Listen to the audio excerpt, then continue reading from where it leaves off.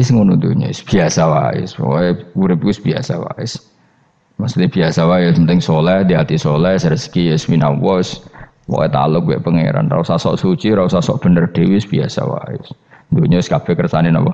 Pangeran. Ya sudah seperti ini. Yang soleh kaya salabah malah akhirnya suul khotimah. Padahal dulu disebut hamamatul masjid, tukang itikaf.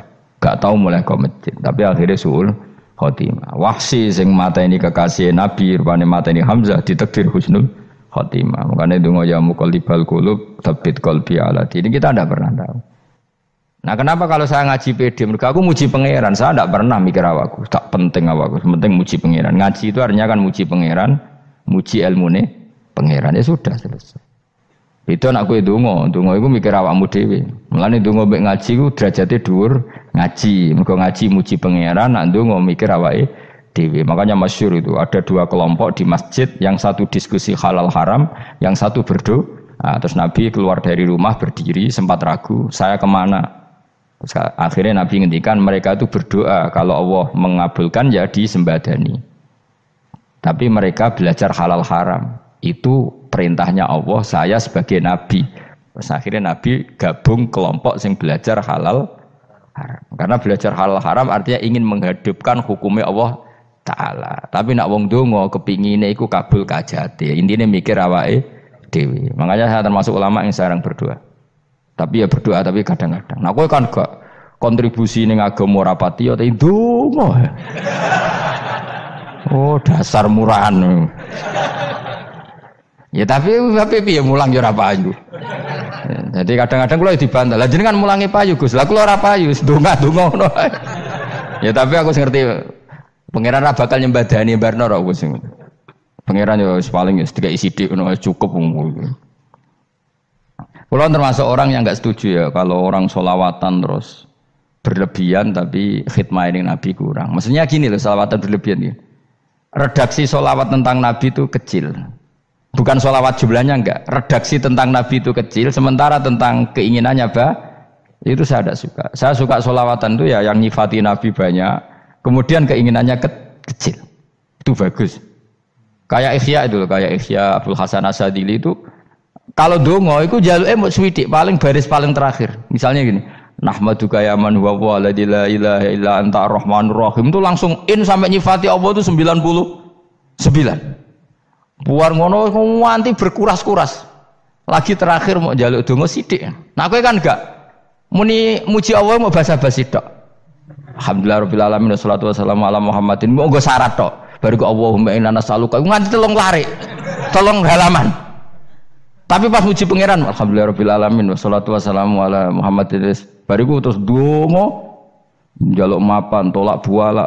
Yo oh, aja. Mana jari pangeran? Muji kekasihku suwidik dongane kecangkeman. Lah saya tuh gak suka jenis itu. Harusnya solawatnya itu yang panjang. Maksudnya nyifati Nabi yang panjang. Baru mintanya sedikit. Itu bagus. Ya. akhlak. Makanya saya di antara solawat yang senang itu solawatnya Habib Ali Al Habsi yang arang simtutur. Itu kalau beliau baca solawat itu uh, solatan yattasilu biha ruhul musolli alaihi bi. Fayam basitu fi qalbi sirru nuru ta'alu sirru nuri ta'aluki bi wa hubbi. Wa yuktabu biha bi inayatillahi ta'ala fi hisbi. Jadi dia baca solawat itu Ya Allah berikan solawat kepada kekasihmu Muhammad dengan solawat ini rohnya saya, musolli itu rohnya saya yang membaca solawat bisa sambung dengan rohnya Rasulullah. Dan setelah sambung saya terhitung sebagai orang yang mencintai Rasulullah. Dan saya berharap dari cinta itu saya tertulis sebagai umatnya. Nah, aku kan enggak mau solawat itu mau Saya termasuk orang yang enggak saya loh ya. Tapi ya tetap baik dibang nganggu primbon ya satu solawatan itu. Tapi boleh punya etika lah dengan Rasulullah itu. Boyo kalau dungo nyifati Nabi yang banyak, ya baru keinginan. Kan banyak itu selawat yang seperti yang saya misalnya di kitabnya Sayyid Muhammad ada Allahumma sholli ala sayyidina Muhammad nuri kalam Allah itu. Wah nyifati Nabi itu sampai panjang lebar baru menceritakan hajatnya. Kalau kamu kan enggak nyifati Nabi basa-basi, mau sidik Malah kadang orang, misalnya ala Muhammad, Kok ala Muhammad muni Sayyidina aja disoal. Masalah terus baru kudungannya apa? Panjang. Saya termasuk yang enggak setuju karena itu menurut saya kurang kurang etika. Makanya Rasulullah itu kalau berdoa kalau sudah nyifati Allah coba tak tak beri satu contoh saja doanya Nabi. Uh, Alhamdulillah ya hamda yuafi ni'amahu wa yukafi mazida ya Rabbana lakal hamdu kama yanbaghi li jalali wajhika azimu sultanik. La nuksi sanaan ka anta kama asnaita ala nafsi itu sudah berapa itu nyifati ini itu belum doanya tuh. Nah kamu kan enggak Allahumma uh, alhamdulillah rabbil alamin. Allahumma ya Allah di hajati gremeng seramu tuh tenan jangan gak bakat wali nah cara kula iku sisen ngono kula ya sering ngamini dongane wong ngono tapi ning atiku ning atiku amin maksudnya amin. Barno mawon Gusti. Nanti aku amin tapi amin ku barno mawon Gusti. Wong ora jelas ngono jadi aku muni amin tapi amin barno maksudnya. Ya Allah barno amin maksudnya. Jadi karena tadi setahu saya doanya para nabi, para wali itu memang seperti itu. Ya coba itulah doa tadi aja yang saya sebut itu berapa kalimatnya? Apa? Uh, Alhamdulillah hamda yuafi ni'amahu wa yukafi mazida ya rabbana lakal hamdu kaya membaik di jalali wajhika azimi sultani la nuksi sanaan alika anta kama asnita ala Enggak terhitung pujian saya kepada engkau sebanyak engkau memuji pada diri engkau sendiri. Allahumma ini a'udzu biridho kami sakhotika fi mu'afatika min uqubatika wa bika minkal. Allahumma sholli bi haqqi jabarutika wa bi kan panjang sekali doanya wali-wali itu tapi semuanya mensifati Allah. Bahkan banyak yang in kemudian lupa enggak doa. Coba haji, doa haji itu coba labbaik Allahumma labbaik la syarika lak. Innal hamda wa ni'mata laka wal mulka la syarika lak. Wa ni'mat itu kan labbaik saya siap melaksanakan perintahmu ya Allah sa'dik engkau yang punya pujian engkau la syarika lak lak itu malah enggak ada jarang malah ada doanya. Itu kalimatnya talbiyah semua. Allahumma antal azil akram itu sudah seperti itu. Karena tadi al mukmin yashghaluhu sana ala Allah min ayyakuna li nafsihi dzakiran. Mukmin sejati adalah sibuk memuja Allah sampai lupa jatah dirinya sen sendiri. Nah, kowe kan gak mujine Allah basa-basi dongane tenanan. Itu jadi makhluk aneh, itu jadi hubungan mbek pangeran itu wong aneh. Ya tapi jangan rabakat wali, semuanya ikut jadi ini, semuanya ikut. Ya tok ngono, kok mari wali kakean malah gak elit. Jadi, tapi saya mohon itu di solawat-solawat itu usahakan jumlah paling enggak jumlah solawatnya banyak, doanya sedikit. Paling enggak misalnya kamu tidak punya kalimat yang apa baik ya mau solawat ping satu itu gak ada salah biar guling-gilingan apa?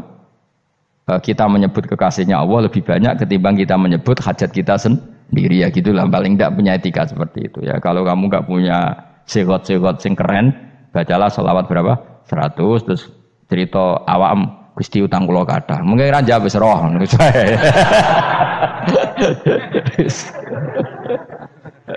Tapi kan kita menyebut kekasihnya sampai 100 nyebut utang bisa. No cowok nyebut kekasih bisa, nyebut utangnya satu.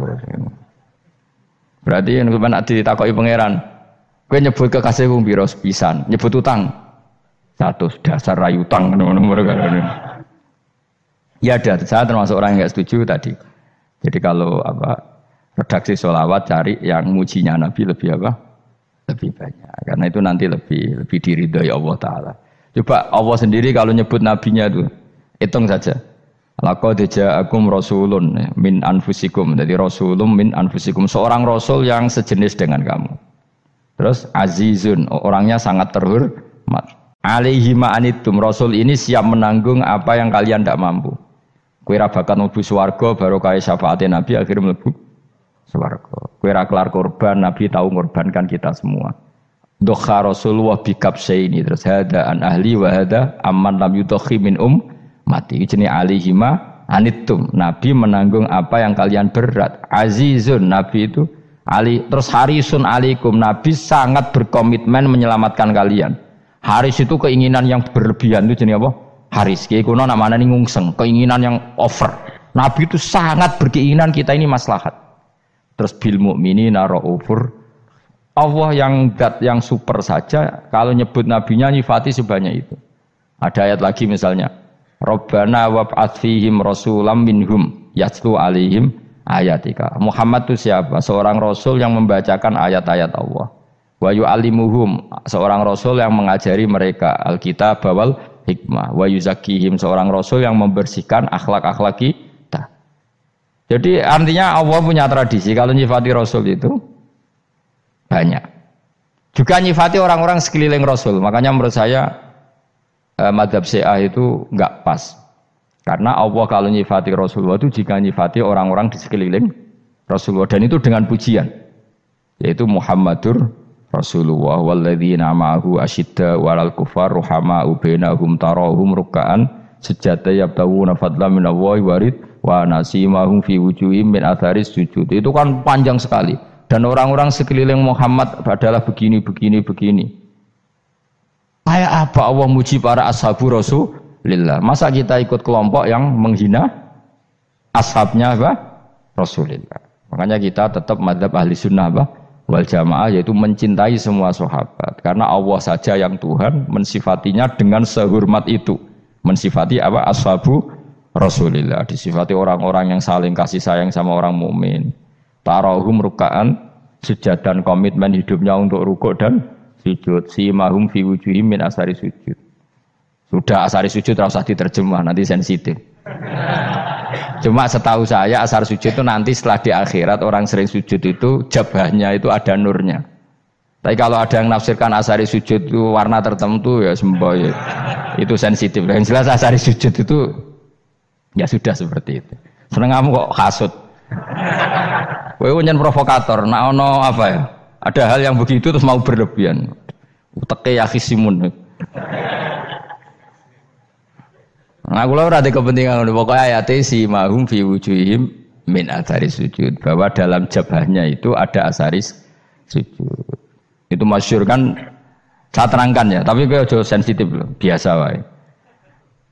Uh, suatu saat Rasulullah itu ngendikan begini, nanti saya kata Nabi akan nyafati kalian semua. Sahabat-sahabat tanya, ya Rasulullah dengan sekian miliar orang bagaimana kamu mengenali kita? Saya ulang lagi, suatu saat saya nanti akan nyafati kalian karena saya kenal kalian. Maksudnya di akhirat. Ya apa? Di akhirat. Terus sahabat tanya, ya Rasulullah bagaimana engkau mengenali kita sementara nanti di akhirat bermiliar-miliar orang gitu. Terus Nabi ngintikan gini, jika kamu punya unta dengan tanda tertentu, saya ulang lagi, jika kamu punya unta punya tanda tertentu, dalam jidatnya ada begini, dalam tangannya ada gini, dalam kakinya ada gini. Maka apa kamu bisa membedakan untamu dengan unta orang lain? Ya bisa ya Rasulullah, karena unta kita khas. Misalnya kaki depannya ada putihnya, kaki belakangnya ada putihnya, dalam baduknya ada putihnya. Kata Nabi, Inna ummati yut'auna yaumal qiyamati huran muhajjalin min asaril wudu. Nanti umatku nanti wajahnya juga bersinar, tangan kakinya juga bersinar. Jadi asar itu saya pastikan secara riwayat itu akhirat, maksudnya tentang akhirat. Tapi bahwa yang di dunia ada yang memulai asar itu gue monggo mawon. Loh itu bagus kan, artinya ekspresi, ekspresi percepatan. Tidak apa-apa loh daripada kok gue jelas ini. Gitu. Maksudnya ya orang ngetok ya panjang jarang sujud tenan. Bu serasa sensitif tapi yang jelas ya, ya nanti Ya sebenarnya kiamat ruang samu. Nanti hisab itu nanti kalau hitung hanya sekitar tiga jam. Hisapnya sak dunia itu hanya sekitar karena malaikat itu tidak kesulitan sama sekali. Tak warai ya. Ini nggak akan salah saya dalam hal ini karena riwayatnya sahihah. Kenapa hisab itu hanya butuh mau rubuun nahar seperempat dari siang enggak? Anggap saja siang itu 6 jam atau 12 jam itu ngajar terserah. Kalau 12 paruhnya kan 6 ya.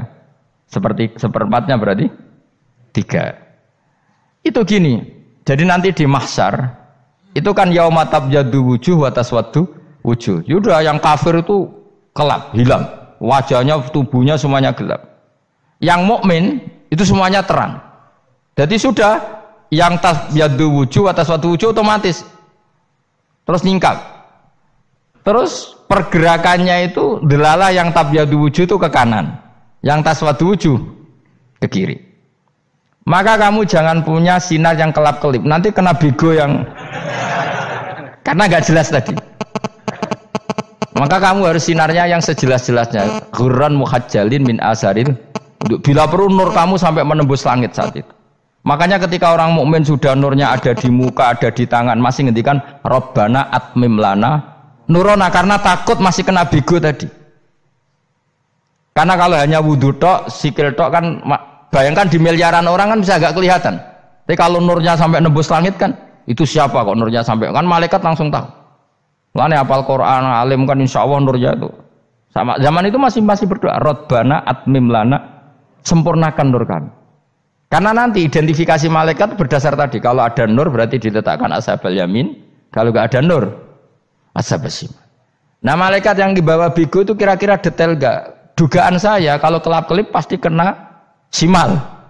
Di, wah ini partai kiri mesti kan. Pemenang yang wudhunya mau dulit sirah tok sidik. Karena anak madhab syafi'i. Sebetulnya meskipun tuh sebaiknya kalau basuh sirah itu kabeh ben kelap. Kelip mana aneh mana aneh pepesan terus dulat-dulit tok. Oh, itu sebenarnya ya itu kelap kelip ya sudah ya. Setelah itu kata ngendikane pangeran yu'raful mujrimu nabisi mahum fayukhadu bin nawasi wal akdam orang-orang pendosa kelihatan maka diletakkan di kiri nah sama yang orang-orang baik si mahum fi wujuhim menasari jadi ayat itu jelas tentang akhirat. Tapi kira usah terus merovokasi. Seneng kamu kok ya khisimun. Maksudnya provokator. Jadi nanti yang yang mukmin jelas nurnya. Lah nur ini nanti dengan kadar iman kamu, perilaku kamu. Ada yang kelap kelip, ada yang. Nah yang kelap kelip ini orang kena bigo itu tadi. Nanti setelah kena bigo ikut ashabi simal, yang kelap kelip disortir lagi malaikat yang bagian detail kan ada nanti. Nah ini terus ditubir neraka. Yang kafir benar-benar neraka, yang ini ditubir neraka. Nah, itu nanti ini yang ngel-ngelo kanjeng Nabi digoleki ya ini itu. Mana sakit kanjeng Nabi, mana ono kiai soleh darani, nah iso soleh dewi sakit Nabi mereka terus goleki ndi umatku sing kelip-kelip terus dicari disafati. Ya, imma langsung dituruti Allah, wa imma diubahsikne neraka. Ya terserah rencanamu piye ngono Tapi yang jelas apa Kiamat itu cepat sekali karena tadi ada identifikasi tadi. Makanya hanya cukup tiga jam karena tadi yang jelek kelihatan jelek, yang baik kelihatan baik. Makanya cepat. Ya oraful mujrimuna bisimahum orang pendosa dikenali lewat alamatnya yaitu taswadu apa? Wujuh. Kalau orang baik dikenali lewat tabyadu wujuh. Nah terus setelah nyingkir ini ngono tak warai kiamat. Setelah nyingkir itu faduri babe nahum bisuril lahu bab setelah tersingkir tadi terus lalu ada pintu penghalang, pintu pemisah. Nah pintu pemisah tadi yang sisi kanan langsung jadi surga, yang sisi kiri jadi neraka. Itu disebut faduri babenahum bisurillahu bab batinu fi rahmatu wa dhahiruhu min kibalihil adab. Yang pintu arah kanan otomatis wilayah surga, yang pintu kiri otomatis wilayah neraka. Nah problemnya ketika penutupan pintu itu dah yang kelap kelip itu katut ke mana ini yang, yang, yang makanya kamu jangan malok partai yang apa kelap kelip yang nggak jelas itu koalisi ke mana ya. Kalau partai besar kan iso nyalon presiden, partai kecil kan ikut mana ini kan? Sing sak sore sak persen, rong persen ini kan repot. Lo coba misalnya nur kamu rong persen, berarti gelap kamu kan 98 persen. Kira-kira malaikat mengkategorikan ke mana coba? Ayo jawab. Gelap loh, kok ada semangat pak. Padahal itu bagian dari kamu. Kalau satu tubuh itu sinarnya hanya dua persen, kira-kira kategorinya itu partai gelap, partai terang. Kode semangat kok ada ini. Berarti kegaruk ke mana? Kiri. Tapi bisa saja malaikat cara berpikir gini. Tapi kok ada cahayanya ya? Padahal kata Allah, yang bercahaya ashabul yamin. Kan nggak ada bilang cahaya terang. Bisa saja malaikat, alhamdulillah berpikir begitu. ya nanti kita rayu saja supaya berpikir ini kan yang penting ada cahaya. Kan Allah tidak bilang terang apa kelap kelip. Ya mungkin saja asal ada cahaya dikategorikan lahu nur punya apa? Nur. Tapi yang jelas saat itu pun yang sudah punya cahaya masih berdoa Robbana atsmim lana nurona. Ya Allah saya mohon sekali nur-nur kami sempur. Jadi ini saya bantu teman-teman yang hafid-hafid supaya tahu maknanya ya. Dan yang nggak hafid ya dengar ya. Kalau nur itu penting. Makanya Nabi itu kayak apa Nabi itu orang super itu kalau ngendikan Muhammad almin fauqi nuran wa min tahti nuran wa an yamini nuron wa an simali nuron sampai terakhir Nabi masih mendoa untuk dirinya waj ali nuron dan semua tubuh saya jadi nur. Jadi Nabi sudah gitu. Ya Allah jadikan sisi depanku nur, belakang kami nur, kanan nur, kiri nur. Terakhir itu apa? Waj alni nuron dan doa semoga semua tubuh saya jadi itu termasuk doa yang sering saya baca. Karena saya takut kelap-kelip tadi ini bahaya ini kalau malaikat saya tidak tahu cara berpikir malaikat tadi. Apa ngitung 98% maka dikategorikan apa? Gelap. Apa dihitung nurnya saja? Wong instruksinya Allah kan yang ada nur ashabul yamin. Meskipun kelap-kelip kan punya nur. Saya tidak tahu nanti ikut dua persen ikut mana kalau di partai koalisi itu. Ya ikut yang menang biasanya ikut yang apa? Ya paham ya, makanya saya mohon kalau wudhu itu usahakan sempurna, terutama wudhu sholat. Kalau nggak wudhu sholat itu sebaiknya nggak sempurna supaya ada bedanya wudhu sholat sama wudhu tidak sholat. Rasulullah itu masyur gitu ya. Rasulullah itu kadang tawad doa wudhu an khofifan, wudhu yang sederhana, yaitu hanya sekali-sekali dan tidak sempurna. Ketika ditanya as sholat ya Rasulullah tidak. Misalnya saya habis makan, Mau tidur biasanya ya wudhu, tapi tentu tidak perlu sesempurna kayak wudhu.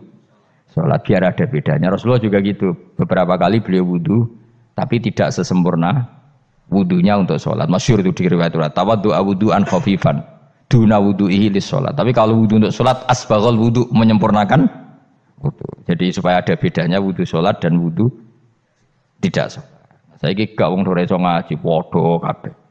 Abu Bakar ya gitu. Ana wong poso sunat kok nyediakno buka, oh dimarahin. Istrinya pernah nyediakan buka beliau untuk puasa sunat. Itu embernya dipecahi Mbak Abu Bakar. Ditanya, kenapa gitu? Apakah kamu akan menyaingi Ramadan? Jadi gak boleh memperlakukan puasa sunat kayak Ramadan. Ya biasa saja kalau Wong puasa sunat kok wah ape buka kolak opo. Ramadane ya iri tuh. Ini gimana kok saya disaingi ini?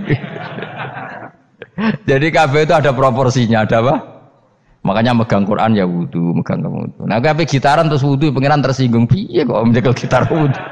Jadi gak boleh kebaikan disaingi itu juga gak gak boleh. Bapak gue sergap wudhu sampai nyekel gitar. Ya, untuk Quran tersinggung, wah semen ibu gak sembunyi kan. Malaikat panitia kan ya tersinggung. KB itu kan ada proporsinya apa? Ada proporsinya. Itu hebatnya Rasulullah. Jadi kalau beliau wudhu, bahkan wudhu itu wudhu li sholat sama tidak sholat itu Misalnya sholat sunat, sholat sunat tuh kamu mampu ngadeg boleh nggak duduk? Boleh. Kalau sholat fardu, nggak boleh biar ada bedanya. Fardu itu spesial, nggak boleh harus berdiri. Kalau sunat, sunat pun harus berdiri. Fardu tersinggung, iya sunat kok nyanyi aku kan gitu kayak. Ya makanya sholat fardu wajib berdiri ya. Sholat sunat boleh duduk meskipun mampu loh ya. Nggak boleh sama. Sholat sunat pun harus berdiri. Berarti ada sunat menyaingi fardu. Ya jelas ya. Jadi aturan main itu harus jelas. Gak boleh. Makanya Abu Bakar itu gak mau kalau ada orang puasa sunat kemudian apa? Abdul bin Mas'ud lebih parah. Dia itu tukang nyuepeng orang yang selalu sholat duha. Makanya saya itu duha itu jarang karena takut kena sweepingnya siapa? Abdul bin Mas'ud. Itu ada orang khusyuk tiap hari duha di sweeping sama dia. Apakah kamu menjadikan sholat ini jadi fardu? Kok buat lakoni bedino? Awas nampak lakoni bedino. Daerah akhir duha dilakoni bedino. Perkara ini butuh duit. Oh itu kalau zaman Abdul Mahmud kena sweeping apa? Karena berarti menandingi far far. Yes, kira usah ilmu ku itu di sensitif. Cuma ini kan ilmu tetap tak utarakan. Biar kamu tahu, nggak boleh fardu disaingi itu nggak. Coba kan banyak ketentuannya tadi. Contoh paling gampang itu apa? Kalau sholat fardu boleh, nggak boleh apa? Duduk. Sholat sunat boleh duduk. Sholat sunat boleh di kendaraan sesuai jalannya kendaraan. Ayat nama tawajjat bi rohilatu. Kalau sholat fardu, kalau kamu naik unta harus turun untuk memastikan di kiblat. Jadi banyak sholat sunat kamu dalam keadaan najis sudah tidak boleh dilakukan. Kalau sholat fardu karena saking pentingnya fardu meskipun dalam keadaan najis ya menemukan alat sesuci harus tetap sholat. Jenenge sholat dihormatil waktu karena nggak boleh fardu ditinggalkan. Meskipun nanti harus iya dah. Karena nggak boleh mengalahkan fardu meskipun itu oleh najis. Jadi misalnya kamu pergi hanya bawa satu celana, kemudian di terminal atau apa kena najis, kena uyah sampean misalnya, kamu harus tetap wudhu dan sholat. Karena nggak boleh fardu ditinggalkan. Meskipun nanti harus iya dah, karena sholat kamu tidak sempurna. Dalam keadaan celana kamu najis, boleh nggak sholat sunat? Oh nggak boleh. Karena kalau fardu itu darurat memang sesuatu yang harus maka dilaku dilakukan. Tapi kalau kamu dalam keadaan gak suci gak boleh melakukan sholat apa? Sunat. Karena fardu itu spesial apa? Spesial. Bun kalau terus nong. Wamtazul yauma ayyuhal mujrimun. Ya, jadi orang mujrimun harus terpisah dari orang apa mukmin dan yang keharusan itu ketika di surga. Tapi kalau di dunia ya boleh muamalah boleh. Ya muamalah yang halal maksudnya. Ai infaridu tegese misau sira kabeh ana mukminin sing pira-pira mukmin intakhtilatihim. Nalikane campure kufar utawa al mujrimin bihi kelan al mukminin. Utawa rujuke mbok walik boten napa Maksudnya rujuke dua walik ge sami intakhtilatihim mukminin bihi kelan kufar utawa kufar ning mukminin. Alam ahad ilaikum ya bani Adam. Alam ahad ana ta ora merentano ingsun ilaikum maring sira kabeh. Amurkum tegese ana ta ora merentano ingsun kum ing sira kabeh ya bani Adam ya bani Adam ala lisani rusuli ing atase lisane para utusan-utusan ingsun. Bukankah saya telah merintahkan kamu wahai Bani Adam Allah tak butuh setan. Eh yen ora menghamba sira kabeh asetan ing setan. Ngendikane pangeran ku ijek kanut setan ku cek nemen nih. Bukankah sudah saya perintahkan kamu tidak boleh diperbudak napa setan. Maknane la tuti tegese aja taat sira kabeh ing setan. Inna sak temene setan laku maring sira kabeh aduun musuh mubinun kang jelas. Eh bayinul adawati banget musuhane. Lah yo setan musuhmu kok malah mbok nut bocah kok sarap ngono. Karwan musuh kok di nut. Anut yo pangeran mergo Allah wali fid dunya wal akhirah. Wa ani buduni lan yen to nyembah sira kabeh ingsun. Wa anestune kelakuan budu nyembah sira kabeh ni ingsun. Wahidu tegese nglakoni ya tauhid sira kabeh. To mengesa kano sira kabeh ni ingsun. Wa ati ulan to atau sira kabeh ni ingsun. Harusnya kita hanya ibadah ning Allah Subhanahu wa ta'ala. Karena dia yang menciptakan kita tempat kita kembali. Setan itu tidak siapa-siapa.